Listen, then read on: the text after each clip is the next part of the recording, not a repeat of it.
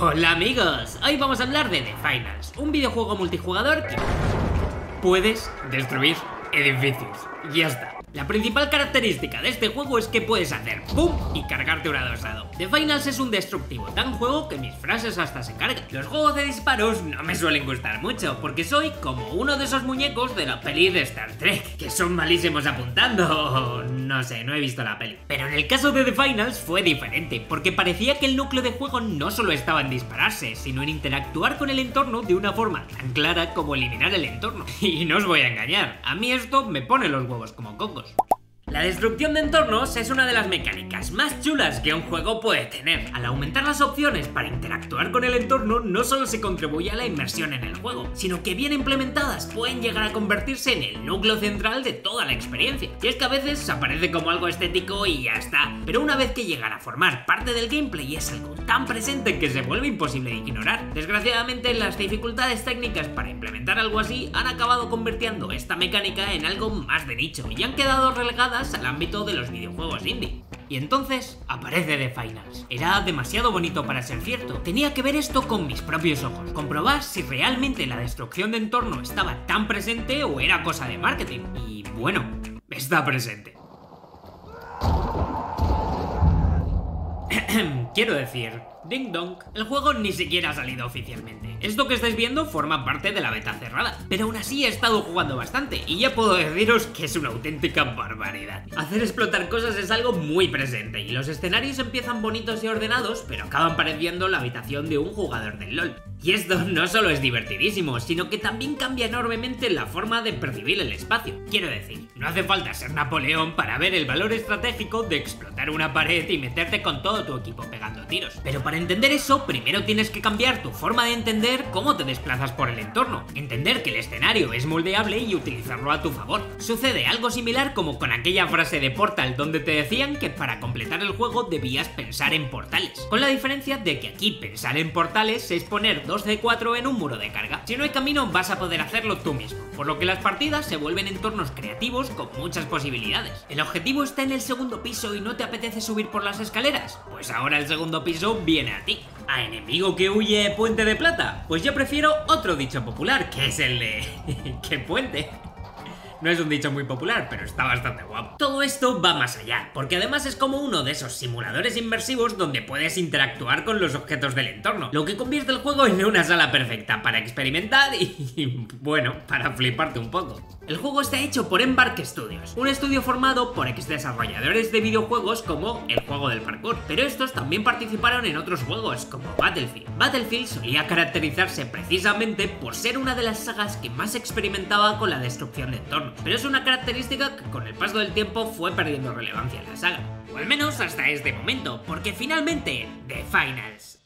ha quedado bien, ¿no? Lo malo es que el juego es tan destructivo que se ha cargado el ritmo en esta parte del vídeo. La base del juego es muy sencilla de entender. La ambientación sucede dentro de un programa televisivo, uno en el que sus participantes tienen que conseguir estas cajas y llevarlas a unos contenedores. Y como en todo concurso de televisión, cuando te matan, te conviertes en dinero.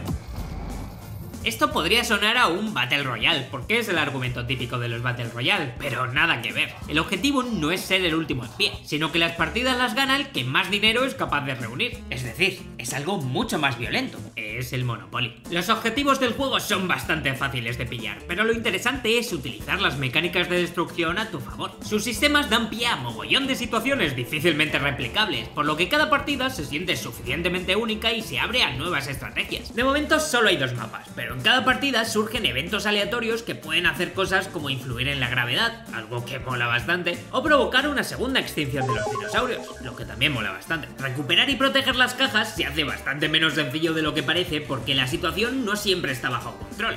Y es que, como los depósitos no están anclados a un sitio fijo, al final atrincherarse para defender el punto no siempre es la mejor opción. Así que puedes optar por defender el punto a tiro limpio, pero también puedes optar por vías un poco más creativas. Y aquí es donde quería llegar. Me he pasado más tiempo buscando nuevas formas de interactuar con el entorno que disparando en sí. Vamos, es que la mayor parte del tiempo la he vivido como si fuera el protagonista de una película de Marvel. Así que eso acaba de ocurrir.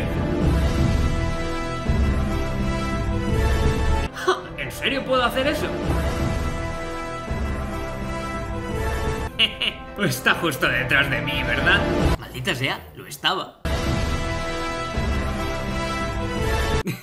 ¿Por dónde iba? El arsenal depende del personaje, pero los personajes son personalizables y adaptables a tu estilo de juego. Por un lado, tienes un montón de ropa para poder vestir a tus personajes de las maneras más humillantes que se te ocurran, y así vencer a tus enemigos con un sabroso ritmo vengador. Pero más allá de lo estético, lo interesante está en el arsenal de herramientas que tienes para desvivir a tus enemigos. Puedes elegir que tu personaje sea grande, mediano o chiquito, y cada uno de ellos tiene sus propias armas y sus propias habilidades. Los pequeños tienen este gancho que les permite desplazarse rápidamente por el escenario, mientras que los grandes pueden atravesar paredes y Oh, oh. Quizás el objetivo de cada partida es ganar, pero en mi caso el objetivo es encontrar nuevas formas de lanzar fuegos artificiales. No sé cuánto me acerca la victoria añadirle un C4 a una pelota de baloncesto y utilizarla para cargarme un edificio, pero lo que sí que sé es que soy más feliz pudiendo hacerlo. Puedes hacer lo básico y abrir boquetes en el suelo para acceder a la carga, pero más que utilizar las herramientas para lo que parece que están pensadas, lo divertido es encontrar formas de romperlas de la manera más injusta posible. Normalmente el trampolín se usa para saltar tú, pero a mí me gusta usarlo para que salten mis rivales.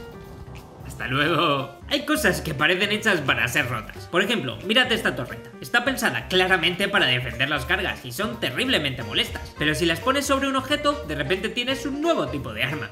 Mirad cómo de cabreado me persigue.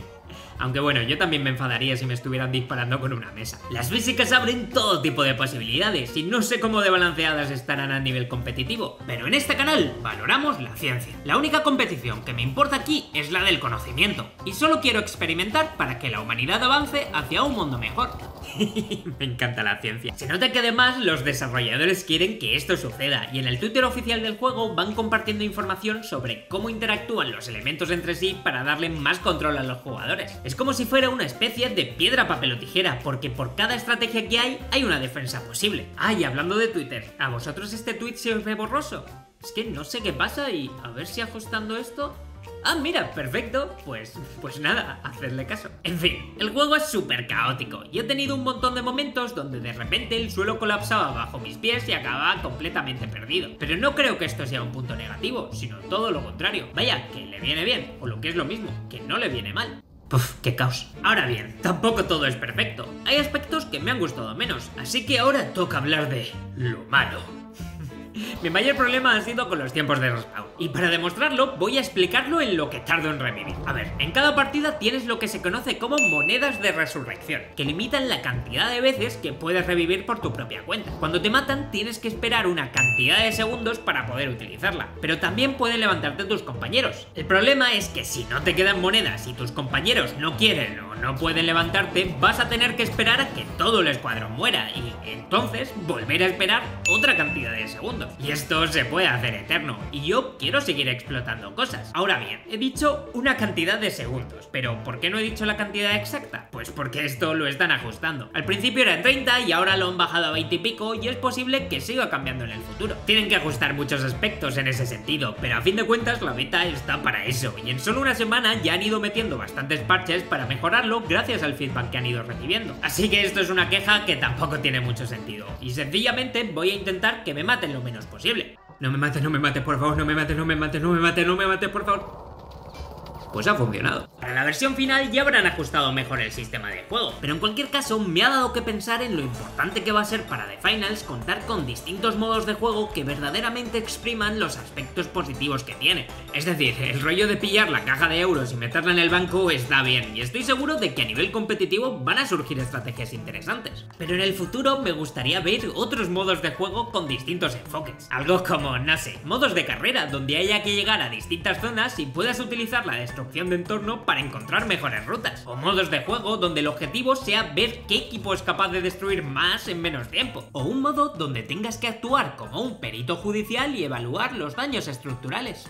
Ah, las posibilidades son infinitas. De hecho, es que si hicieran algo como en Overwatch y añadiesen un editor de escenarios que permitiese a los usuarios crear sus propios modos de juego, lo único que tendrían que hacer sería sentarse a contar billetes. Es que lo tienen hecho. El mercado de los shooters está súper colapsado y es difícil que un nuevo juego aparezca y destaque lo suficiente como para mantenerse en el tiempo. Y The Finals es súper llamativo y va a salir gratuito, así que como mínimo va a tener un montón de curiosos deseando probarlo. La cosa es si van a ser capaces de mantener a esos usuarios. Los juegos como se dependen enteramente de ser capaces de reinventarse e ir añadiendo contenido constante en una industria donde la gente se aburre rápido de las cosas. Pero ¿qué queréis que os diga? Yo me mantengo optimista. Es difícil ver The Finals y no querer que funcione bien. Y la verdad es que voy a echar bastante de menos poder jugarlo cuando cierren la beta. En cualquier caso, me interesa mucho saber qué os ha parecido a vosotros. Así que dejádmelo en los comentarios y yo os dejaré mi corazoncito, porque mi opinión ya la sabéis. Y es que ha quedado claro que el juego me ha parecido